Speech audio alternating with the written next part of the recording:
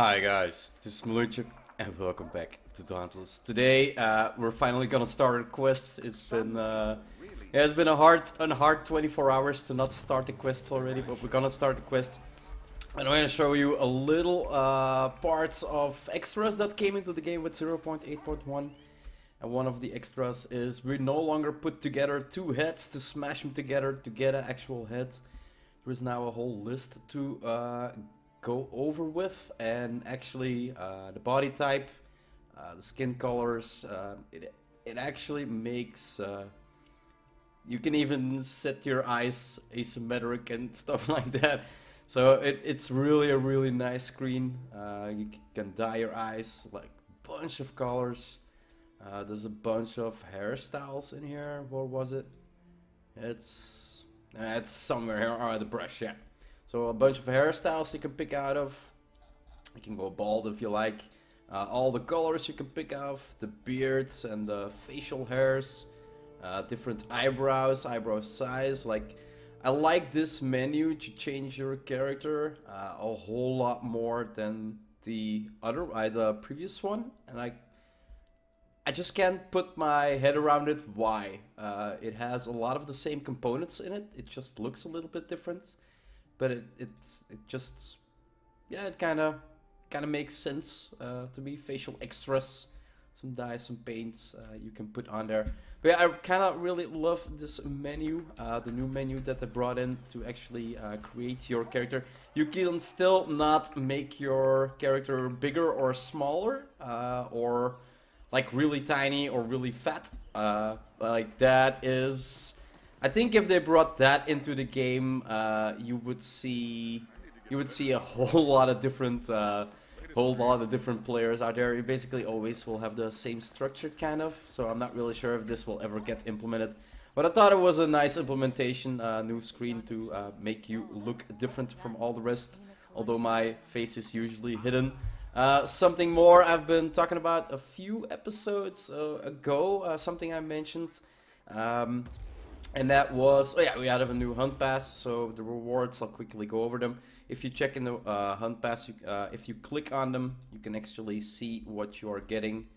Uh, and if you go further like the icons they appear up top. There's not really a good visual up here uh, lanterns and it's it's a it's a it's pretty filled it's pretty filled. Even the lowered uh, the well the basic track is pretty filled up uh, till 17 then it gets a little smaller um, still got a nice new flare in there. As you can see, and some nice animations. The one finger push up. I really like this one actually. Uh, so new Plants Starstruck in here for the elite ones. Uh, new hammer skin. And then they actually put uh, Silent Shadows at 50. Uh, usually they put something at 64 like there and then uh, basically stops for the basic track but now they actually want the basic track to go completely to the end uh, so both the elite and the basic track will only get the silent shadow uh, title at the end of the hunt pass. Kind of really like this uh, makes you uh, need to play more and that's always good right? Uh, that's actually not what I wanted to talk about but it's always good to throw it in there. The mastery system I kind of said before in previous episodes that I kind of wish you could see what rewards you actually get.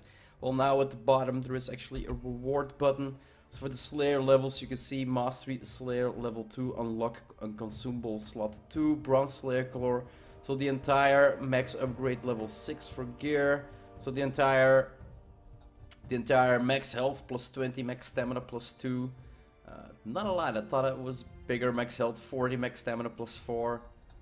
So you can see the entire list and you can see of course uh, max health plus 100 and stamina plus 10. So it starts it starts uh, gather bonus Omni Stone 25%, double behemoth kill 30% chance. Like there are some really nice rewards in here for the behemoths as well. Uh, double behemoth break part chance 15%. Uh, at later uh, tiers, it's gonna be 20% as I can see here, and then uh, double behemoth break part 25%. So uh, one out of four behemoths should give you double double the items which you break at the end. So pretty good for uh, bonuses in here. uh, for the axes as well. Uh, you can see at level 16 you get your last, um, well, is it usable? I guess you could call it, or ultimate, you could call it for these serrated blades for chain mastery. Uh, the hammers get extended clip exists at 16 and then the repeaters, uh, as we saw, we got the Lucky Magazine. Um, well, we got it, we didn't see it because we were already uh, level 20. The pikes get at level 16 Balanced Spearhead. So yeah, I still need to actually gather these up before I can make a video about uh, the Lightweight Shaft, the Balanced Spearhead, what they all do. Uh, and the sword at the end, uh, Perpetual Blade Core at 16, so I already have that one so I can already uh, start making the video about that one. We have some uh, nice little features that are in the game, making it more um, obvious what you actually get when you actually got it. Um, and yeah, it makes the game uh, a lot more interactive. But I do remember that we left off with our quests. Uh, I didn't have Bright Shadows in here. Uh, Hunt, Rezakiri, and Shrowd. I already did that one. I kind of had a quest so that my gear needed to be 550 and my weapon needed to be 550 um, for gear score, I guess you could call it. Uh, loadout. So loadout 524, almost there, and then 512 uh, here. But I was kind of stuck behind uh, Behemoth Mastery 28 before I could move on with my loadout for my gear. Um, so yeah, basically I got another quest from Catherine, and it is nice actually work. completed. You're not just a slayer anymore, you're a myth killer, a legend breaker. Don't let it go to your head, but you're now hunting things I'd only ever heard of in tales and tomes. You're making me proud, you know, making me remember why I started training slayers in the first place. Well done. Rook. Bright Shadows. And as a reward, we get... Uh, the icon is something like a, a, a too really long item name is what it's called. I would say because it's this game, it looks like a chain blade, but it actually looks like a, a pickaxe. I'm not really sure if you guys can see it at your screen. But yeah, I'm not really sure what the hell this reward is. Too really long item name. Watch your back. Acidic cell and ramps. Okay, so we got acidic cells. Uh, why couldn't it say acidic cells? So that was the quest and no quest for... I was thinking that I might get the quest for the gear score now from her, but we do have other quests, so let's check out those as well. I'm loving the update, uh, the jumping, the the boosting, the movement speed uh, in total. Uh, in mod, we trust and special fortress. Equip one of your weapons with a weapon mod. Uh, except Slayer, word is getting around and Wills likes what he hears. You are becoming a true master of the hunt, as the Slayers like to say. And with such mastery, you are entitled to use some of my unique modifications. Your fellow Slayers call them mods, I believe. In mods we trust, open your loadout and select a weapon, then add a weapon mod for some powerful Ostian enchantments. So I already uh, have most of my weapons or swords and axes that I actually use already have a mod on there, so it's instantly completed. And then we have Special Forces. Equip one of your weapons with a new special attack. That should be an instant as well. Your Master of Weaponry warns, um, warms my Ostian heart, friend Slayer. And Wills has something very special for you to celebrate. As you know, all of my weapons have special attack you can unleash after building up Etheric Charge. With this new piece of Ostian Aethercraft, uh, you can add new powerful special attacks to your arsenal. Now you must simply add it to your weapon of choice, swapping it out for what uh, what's there, enter your loadout, select the weapon and add your new special. It's so simple, Zepco could do it. Come back soon. So apparently I still need to do that. So loadout, Ostian repeaters. So let's change it up. Um, I am using right now uh, as a test the, where was it? Um, oh, what was it? Uh, using an ability returns 4 ammo to the magazine.